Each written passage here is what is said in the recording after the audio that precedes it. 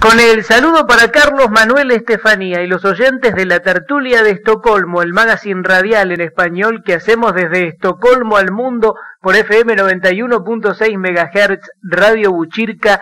Hoy para Leandro Gasco es un gran gusto saludar, reconocer y entrevistar al talentoso actor venezolano que conquistó Hollywood, Hugo García, carismático amigo que se ha consagrado en el cine, en la televisión, pero que sigue siendo humilde y con esa alegría característica.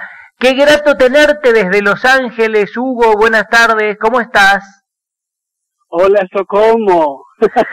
no, gracias a ti por tenerme acá en este programa. Muchas gracias, el placer es mío.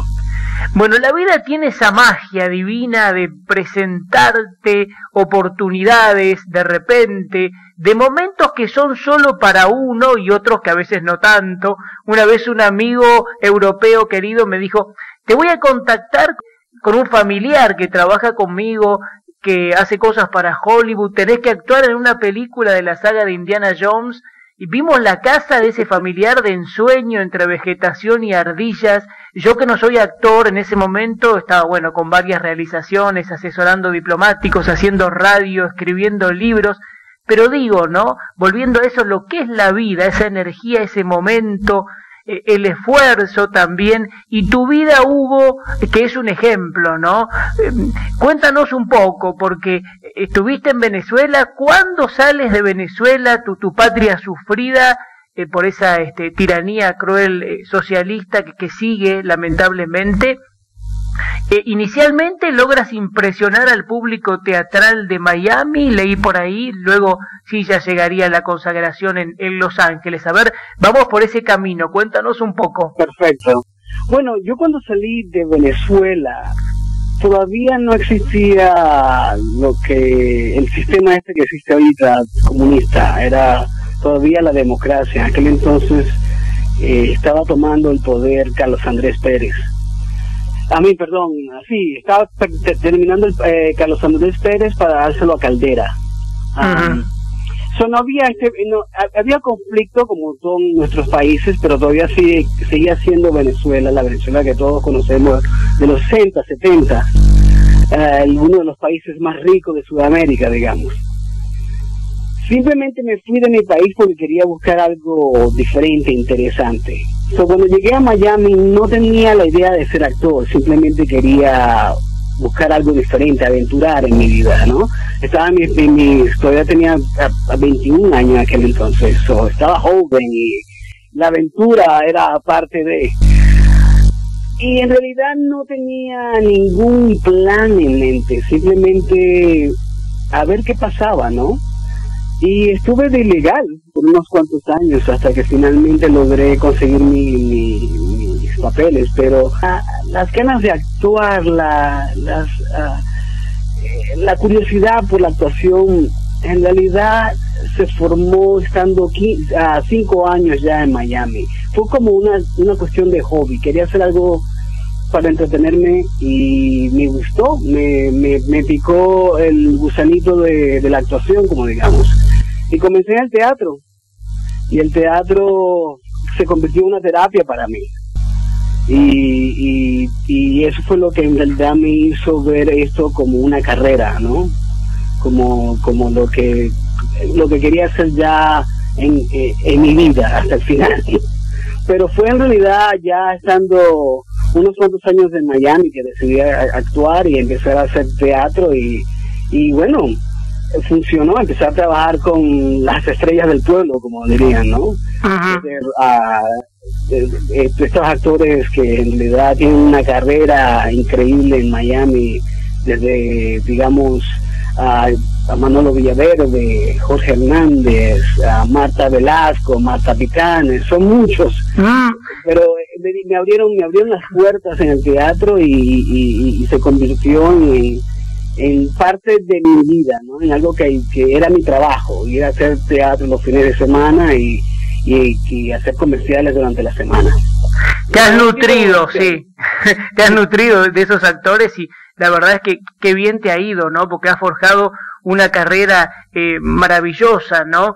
Por ahí yo tenía presente que fuiste elegido como personaje principal de Estamos Unidos, primera comedia de situación, has participado en sitcoms, series dramáticas, telenovelas, programas de variedades. Eh, siempre he dicho, y contigo eso se cumple a la perfección, ¿no? Tu calidad actoral que brilla por igual en comedia como en drama. Sí, bueno, comencé en el drama, a mí, quería ser dramático porque era las novelas y tú sabes, siempre era lo, que existía en Miami, ese era, digamos, el, el, el, chance que tenías de actuar en las novelas, pero todo es dramático. Pero no podía porque no era alto, esbelto, bello. Entonces dije, bueno, ok, voy a empezar a hacer comedia y resultó. Afortunadamente comencé a, como uno de los personajes principales en la primera comedia que produjo Univision, digamos última, porque no han hecho nada parecido a eso después de eso. Pero fue una experiencia increíble porque trabajé con Carlos Bonavides, que es un tremendo comediante, aprendí muchísimo de él. Y por supuesto, trabajé con la bellísima Miss Universo, que todos conocemos, ¿no? Alicia Machado, venezolana también. compatriota. Compatriota. Fue una experiencia increíble y bueno, afortunadamente eso me abrió las puertas a otras series de televisión y, y, me dio el chance de mostrar que solo no podía ser drama, ¿no? Pero como ya me habían visto en algo más, me daban la oportunidad. O así se me abrieron puertas para hacer eh, películas, no películas, series de televisión para televisión mundo, de la escritura, pero eran más dramáticas, más novelas, más cosas, pero perfecto, mira. Yo me daban la oportunidad y yo decía que sí, ¿por qué no? Ahora, yo quiero también mencionar, ¿no? Porque he visto en la galería eh, fotos con eh, celebridades, con colegas también. Por ahí tienes una con Anthony Hopkins, otra con Jerry Lewis, eh, y, haber conocido a, personalidades de estas características y aprender de ellos también, cómo han sido esos encuentros, esas posibilidades que yo recalcaba en el comienzo también. Bueno, cuando, cuando decidí a tomar la carrera de actuación en serio, me di cuenta que necesitaba también tener un plan B, no un plan B, pero algo que me, me me diera un tipo de ingreso que no, no tuviese que depender solo en la actuación, pero también pudiese tener la libertad de hacer la actuación. lo quise mantener todo en el mismo, digamos, uh, el mismo tipo de negocio que sería el negocio de crear uh, fantasías. decidí trabajar detrás de las, de las cámaras y comencé como productor, como asistente de producción para series de Telemundo e Univision.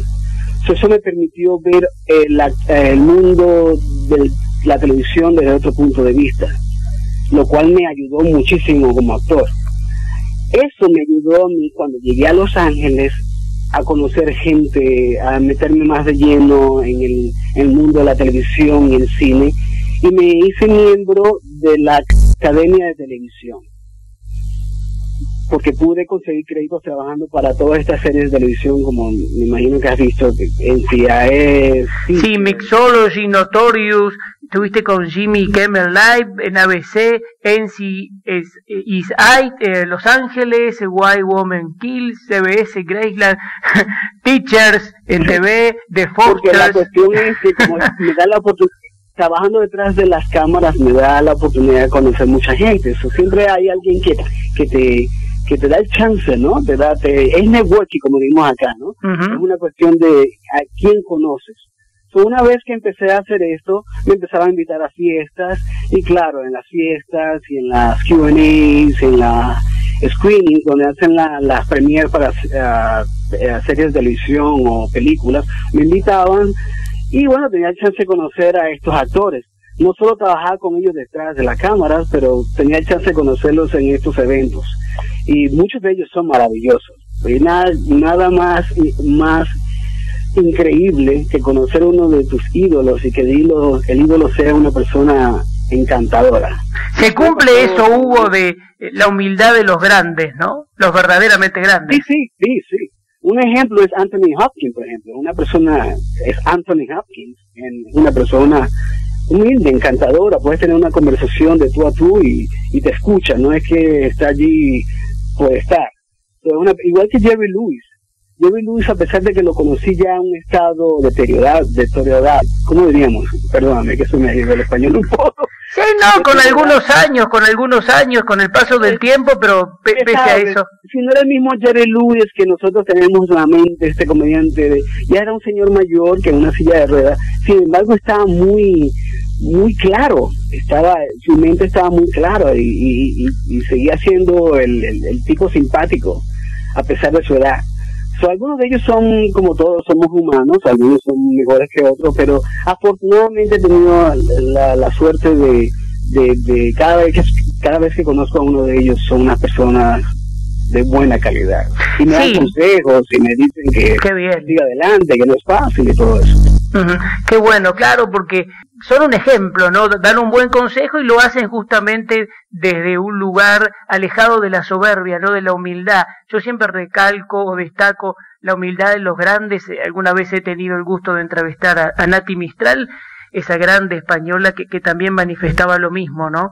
Eh, además de su calidad como, como actriz y como cantante, ¿no? Justamente ella que también hizo divinas palabras, una eh, obra teatral que también tú has hecho, has actuado por allí.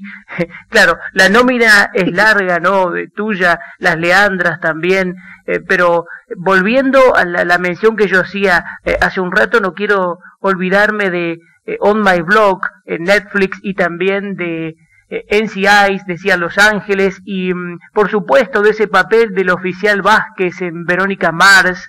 Eh, son muchas, decididamente son muchas, pero también este eh, resaltar la familia, ¿no?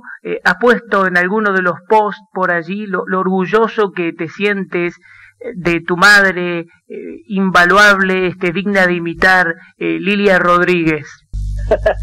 sí, sí, sí. Tú lo has dicho, wow, mejor, eh, mejor, mejor puesto no lo pudiste poner. Sí, mi, mi mamá ah, es un, rol muy importante en mi vida porque yo perdí a mi papá cuando tenía 18 años. básicamente mi mamá fue papá y mamá durante un tiempo y sí, lo sigue siendo hasta ahora, ¿no? Y desafortunadamente ella vive en Venezuela y, en las eh, la, manera en que está viviendo ahorita no es la manera ideal, pero bueno, ella quiere su país y, y ella tiene fe que algún día cambie. Pero sí, gracias a mi mamá yo estoy acá porque ella fue la que nos enseñó a que si querías hacer algo, tienes que hacerlo, a intentar por lo menos. Quizás no logres tu objetivo por completo, pero intentaste, que es lo importante. Eh, y gracias a, eso fue que tuve el, el decidir dejar mi país, dejar mi familia y tratar algo diferente. Como te dije, estuve ilegal en este país. No vendí drogas, ni violé, ni robé.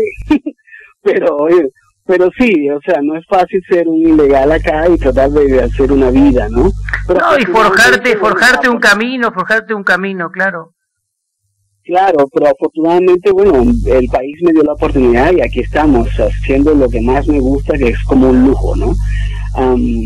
pero sí, este, mi mamá y mi, mi, mi esposa, mi hija, son muy importantes, me mantienen, como digamos, este, centrado. Porque este es, vivo en la la, es muy fácil, es muy fácil vivir en un sueño, ¿no? Pero, pero cuando tienes una familia, ya la cosa cambia, ¿no? Es, es más, tienes que vivir la vida de una forma diferente.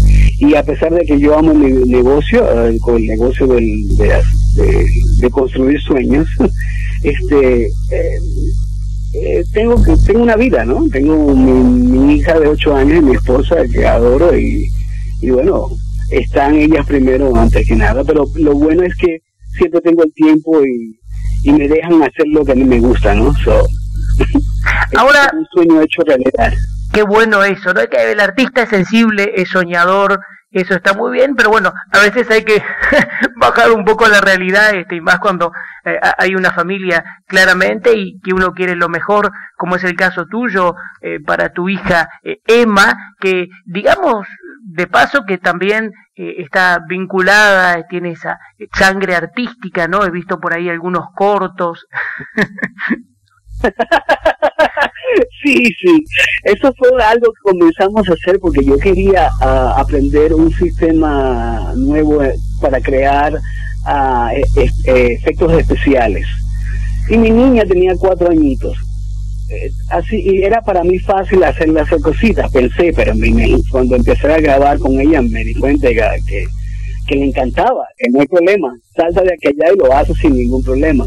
Así que de uno se convirtió en 15 diferentes videos. Y es eso, que le gusta, no me, no, no me contradice, analiza lo que estamos haciendo y lo hace orgánicamente ya haya hecho varias cositas aquí y allá en, el, en el negocio, ¿no? Como voiceovers y comerciales. Pero yo en realidad, como papá, conociendo el negocio, estoy un, poque, un poquito renuente. So, si pasa, bueno, es porque ella lo quiere, pero no porque yo la... Claro, no, como padre la cuida, la cuidas también, ¿no? porque no es un negocio fácil para una no, mujer claro. es un poco más difícil pero si ella le gusta y si lo tiene no no no importa lo que yo diga o haga lo va a hacer porque yo lo hice y, ah. y mucha gente lo hizo uh, Barbara Streisand lo hizo y esta eh, cualquiera de estas buenas actrices Meryl Streep lo hizo es una cuestión de que si te gusta lo intentas y si y, y si estás dispuesta o dispuesto a hacer lo que tienes que hacer de la manera más, uh, digamos, de la manera correcta, ¿no? Te, te, educas, te, te, preparas para cuando llegue la oportunidad estés listo, perfecto. Bienvenida Sara, pero, pero yo no lo quiero forzar ni nada porque conozco el negocio y, y sé, he visto a otras personas haciéndolo y el resultado final no es bueno. Pero a ella le encanta y a mí me fascina hacer esos cortos con ella porque la pasamos de lo mejor. Y por unos cuantos años te vas a transformar en un oficial custodio también, como la como en Verónica Mars, nada más que ya, ya, de, lo cercano familiar, ¿no? De Emma. armado, como le dices, pero armado. sí, sí, sí. Qué genial. Ah. Escúchame, Hugo, hablando de la familia, ¿no? Por ahí, eh, Francés Duflar, este, eh, tu esposa, eh, yo quiero pedirte un recuerdo, porque tú sabes que yo adoro eh, al, exilio cubano este, de Miami, y mm, me parece bueno, me parece valedero un concepto, un recuerdo tuyo, alguna anécdota con eh, Chamaco García, que has escrito por ahí, eh, mi suegro y, amigo en alguna oportunidad. Eh, vale recordarlo, este, muy talentoso. Oh, por supuesto. Chamaco García fue un actor y cantante que, que descansa en paz. Mm, muy popular en, Miami, porque hizo no solo era cantante de conciertos y viajó a México y República Dominicana y Nueva York. Era también un actor que participaba en muchas de estas zarzuelas. So, estaba en España, Portugal. Era un, él era esa esa generación de Cuba de los 80, 70 que eran que cantaban con una orquesta en el background, en la, cantaban con una orquesta, una orquesta era un hombre muy talentoso, ¿no? Eh, no solo cantaba, pero actuaba. y eso, con, básicamente, mi, mi esposa se crió en ese ambiente. Él también tuvo un show en, un, en uno de los canales locales en Miami. Y mi esposa, cuando tenía la edad de mi hija, básicamente estaba en el show todo el tiempo, haciendo cositas aquí y allá con la mamá. Porque la mamá de mi esposa también es actriz, Lucy García. Claro, sí. Ella tiene un, ella tiene un show de, de, radio ahorita en Radio Mambí, creo, en Miami ahorita. ella todavía está, ella hace lo, lo que hace como actriz y, y como locutora. Uh, y eso, eh, mi esposa Francis básicamente vivió en ese ambiente toda su vida. Así que ella, ella, lo bueno es que ella me entiende, entiende el negocio, porque es muy difícil ya tú sabes, algunas veces estamos acá arriba, pero a veces estamos acá abajo. Y eres, o sea, eres lo último que hiciste. Ah, es difícil, y somos, somos sensibles, ah, tenemos la sensibilidad en la manga todo el tiempo.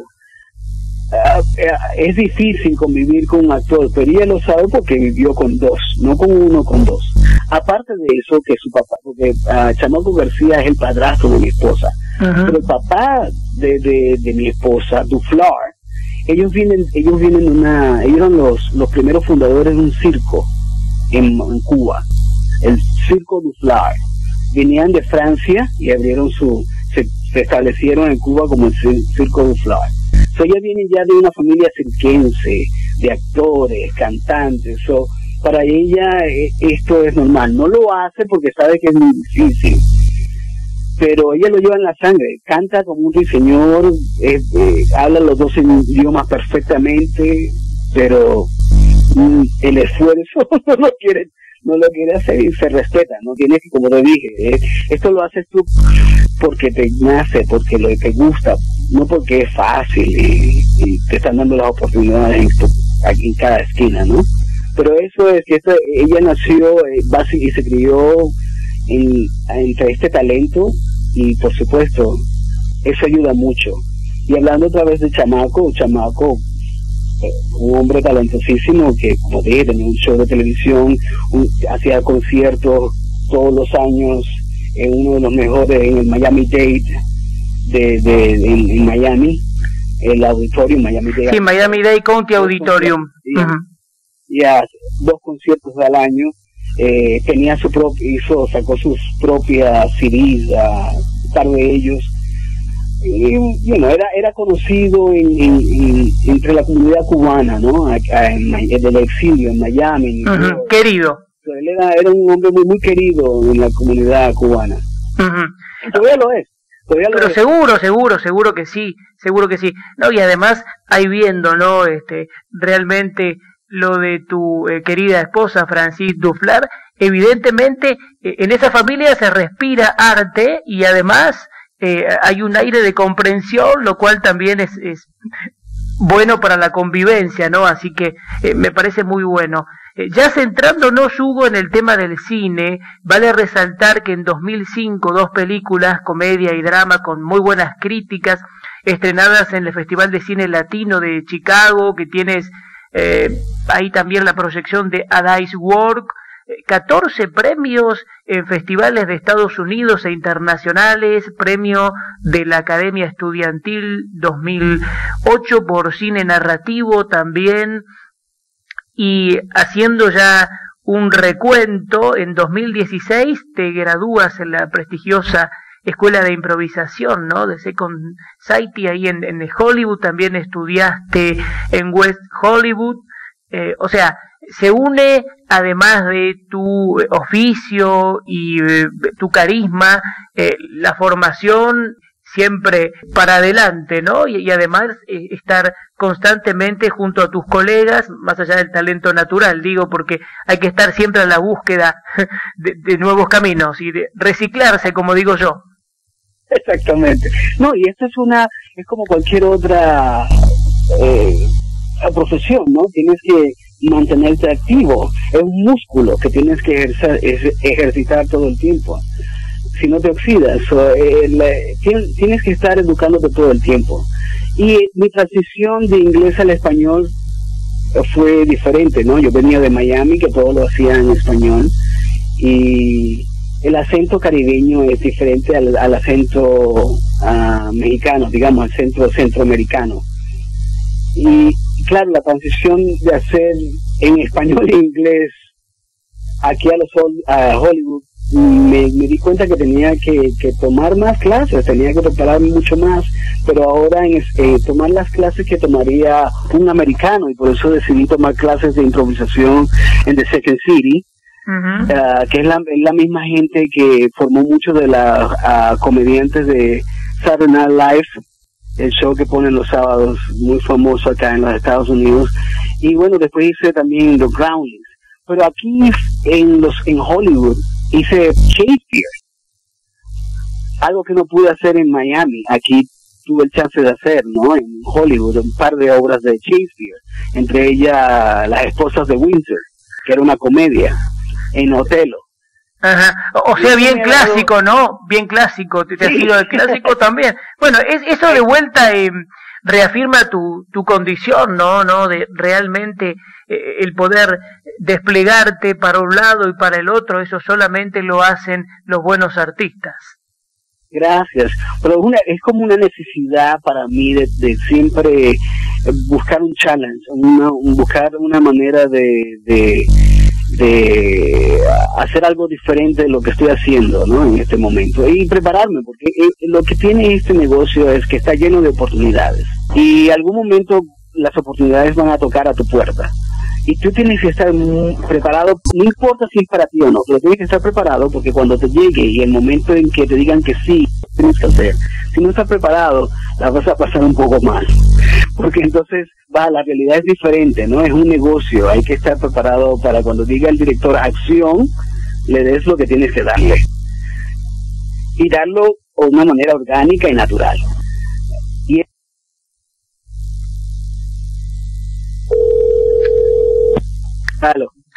Hugo García, estábamos entonces. Aló. Sí, Hugo, ¿me escuchas bien ahora? sí, sí, sí. Ay, qué suerte, qué suerte. Bueno, eh, estaba diciendo entonces que es fundamental esto de eh, siempre estar capacitado y atento eh, a todo lo que vaya surgiendo, que en algún momento esa puerta fantástica se va a abrir y bueno, va a llegar el momento mágico y la posibilidad de lucirse y, de brillar. Y tú lo sabes, ¿no? Tú lo sabes. En lo más, entre más te educas, puedes tener cualquier conversación con personas de cualquier nivel, ¿no? Y, de, verdad obtener la información que, que, que de una forma u otra eduque a las masas. Y ese es el eh, y, eso es importante en la vida ah, en la vida. Exactamente. Ahora, viendo tus hobbies y, todo lo que haces por allí en las redes sociales, no sé, desde tirarte en caída libre desde un avión 5.486,4 metros. Eso lo acabo de hacer un par de ah, semanas atrás, por cierto, lanzarme de un avión. Pero son cosas que hay que vivir la vida, ¿no? Son cosas que están en mi, lo que dicen acá en mi lista del, del, del bucket, del, del, ¿cómo se dice eso en español? Bucket. Sí, como el camino recorrido, el, currículum tienes por ahí. sí, tienes una lista de cosas que quieres hacer antes de morirte. Mm, bueno, pero falta mucho, ¿eh? hay mucho por hacer. no, no, no, no, por supuesto. pero la estoy tratando de hacer todos lo más, lo más pronto posible, ¿no? Cada vez que existe una oportunidad lo hago. No, sí, sí, pa'lante, pa'lante. Esa era una de, las cosas que quería hacer, ¿no? Lanzarme de un avión. Pero sí, me gusta pintar, me gusta viajar. Sí. Ah, Boxeo, natación, béisbol, baila salsa y merengue, eso ya.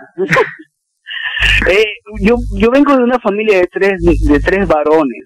So, imagínate, eh, eh, eh, vivir con tres, ah, con dos hermanos más, es siempre una competencia, es siempre la, la, la ¿cómo se dice? La, la testosterona siempre está a millón y siempre fuimos bien físicos, bien, no atletas, pero nos gustaba hacer cosas. Mi hermano, el, el medio era uh, cinta negra en karate y el, el más pequeño casi logra hacer grandes ligas, pero se dañó el, el hombro y bueno, nunca llegó allí, pero era tremendo beisbolista.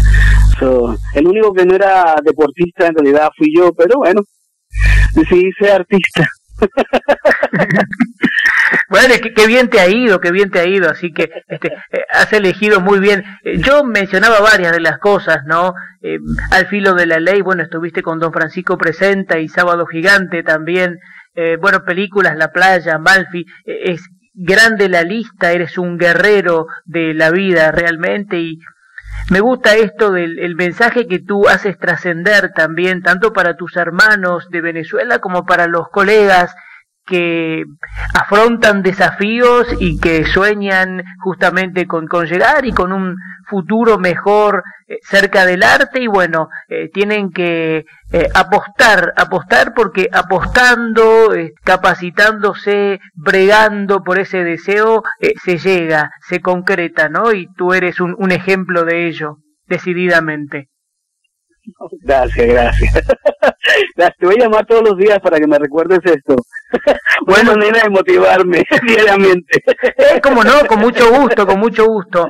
Eh, amigo. te grabo, te grabo entonces para ponerlo todas las mañanas cuando me levante. Dime algo, Leandro.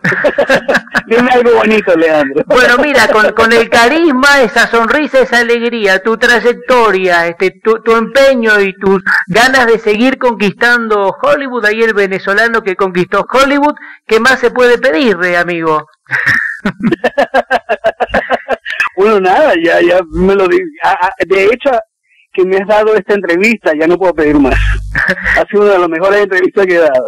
Vale, cuánto te agradezco. Un honor para mí eh, tenerte, ¿no? Además, yo distingo, ¿no? Porque estás con colegas como Sarah Baker, Michael Douglas por ahí en, en la foto, Robert Forster, Rita Moreno, también Patricia Clarkson, James Corden. Bueno, eh, has estado también con Cher, que te vi ahí en, en una fotografía, en, una imagen, ¿no? Es decir, te, codeas con, con lo mejor de, del arte internacional, de, de la música, y eh, además como, como hispano eh, lograste un lugar de liderazgo, ¿no? Yo sé que muchos se identifican y además cuando ven las películas eh, te tienen presente en la televisión o en las obras de teatro que has pasado por comedia, drama, clásicos, más nuevo, todo. Así que, ¿qué decir, no?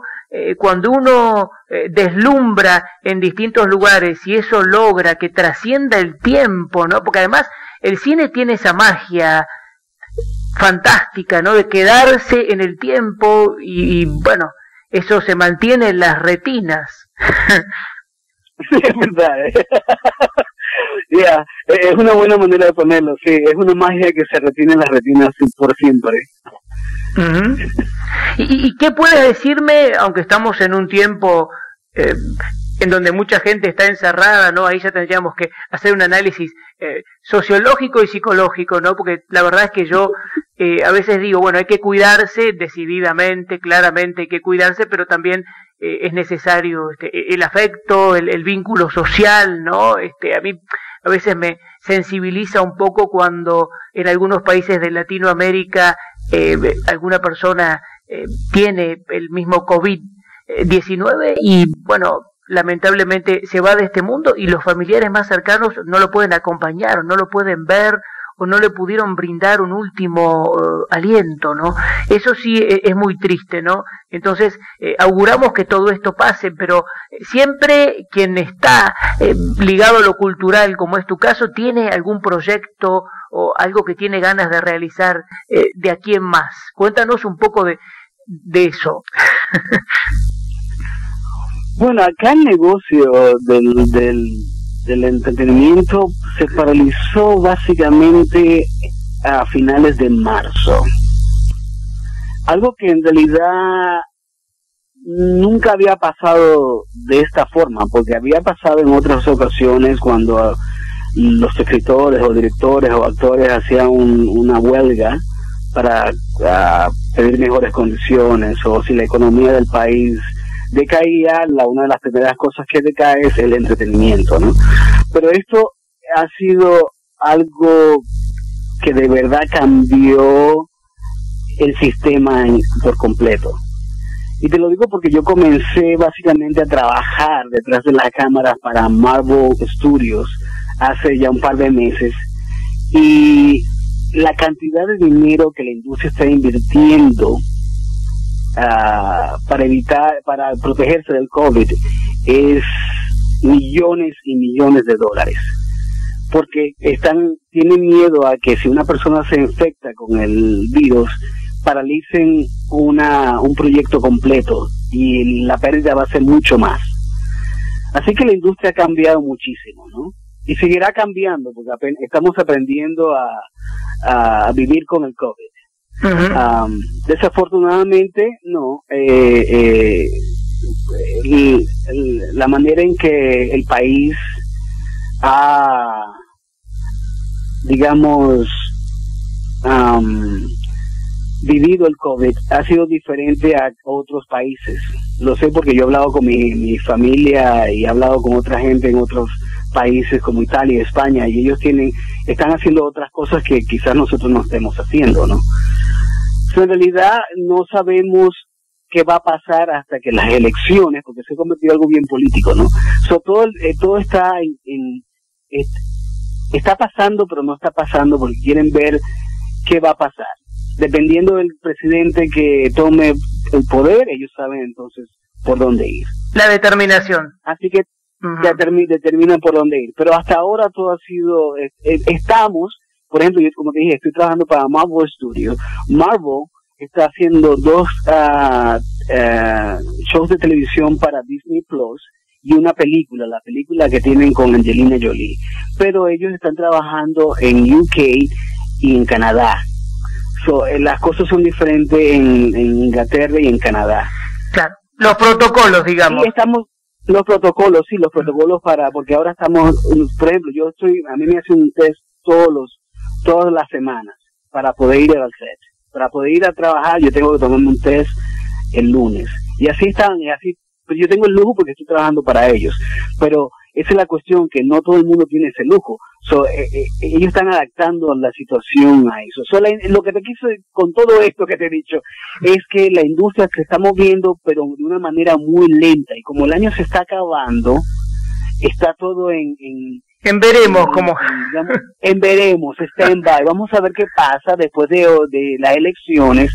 Y después, bueno, no, y si llega la vacuna también este, tan ventada que este, hay pruebas que alguna gente se ha tomado experimental y que, eh, bueno, ha habido casos como para salir corriendo, así que no sé, tiene que ser algo bien serio como para este que se aplique, ¿no? Y después también ver los casos de muchos países, ¿no? Por ejemplo, Cuba o Venezuela que están sufriendo mucho porque también cuando no hay alimentos, cuando está todo cerrado, cuando eh, hay dificultades en los hospitales o en las clínicas también, no hay respirador, es tan terrible como decir eso, ¿no?